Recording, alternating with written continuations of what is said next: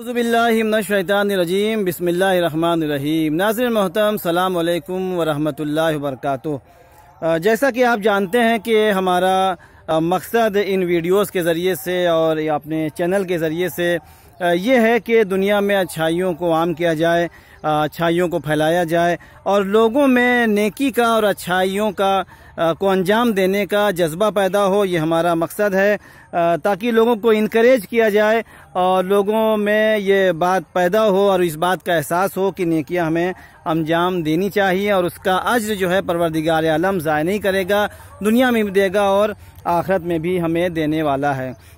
तो हमारा मकसद ये है कि नेकियों को आम किया जाए, नेकियों को फैलाया जाए।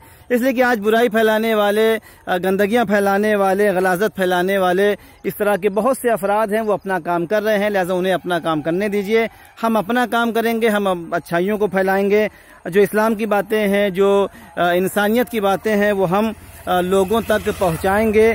अपने तौर पर और इस चैनल के ज़रिए से हम ये कोशिश कर रहे हैं और अगर आप हमारी बात से सहमत हैं, अगर आप हमारी बात को सही समझ रहे हैं तो आप भी हमारा साथ दीजिए और हमारी वीडियोस को लोगों तक पहुंचाइए और इसे शेयर कीजिए ताकि आप भी सवाब में शामिल हो सके। एक बात मैं जो यहाँ पर जल्दी से कह देना चाह रहा हूँ, वो ये कि क़यामत के बहुत से नाम परवरदिगार आलम ने बयान फरमाए हैं। मसलन योमुल क़यामा है योमुल हश्र है योमुल हिसाब है।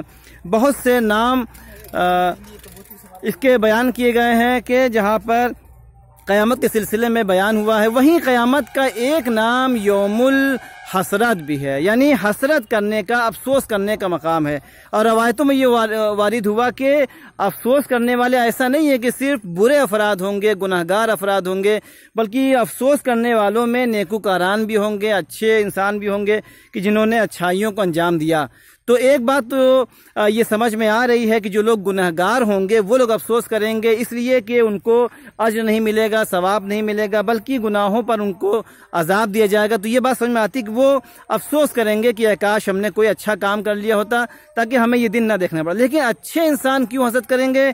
तो रवायतों में आया कि अच्छे इंसान इसलिए हसद करेंगे कि वो जो अपने जब अज्र को देखेंगे, जो उन्होंने नेकियाँ इस दुनिया में अंजाम दी हैं उसका जब वो अज्र देखेंगे, जब सवाब देखेंगे तो वो इस बात के ऊपर हसरत करेंगे कि आकाश हमने और ज़्यादा नेकियों को अंजाम दे दिया होता। इसलिए कि जो अज दिया जा रहा है, बहुत ज़्यादा दिया जा रहा है, बेपनाह दिया जा रहा है।